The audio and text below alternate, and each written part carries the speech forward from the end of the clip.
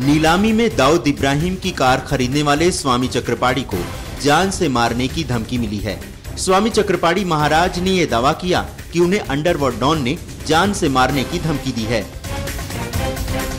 चक्रपाणी ने कहा कि उन्हें एक टेलीफोन कॉल और दो अज्ञात नंबरों से कुछ मैसेज आया और फ़ोन करने वाले ने चेतावनी दी कि मुझे उसी तरह से जला दिया जाएगा जैसे मैंने कार को जलाया था।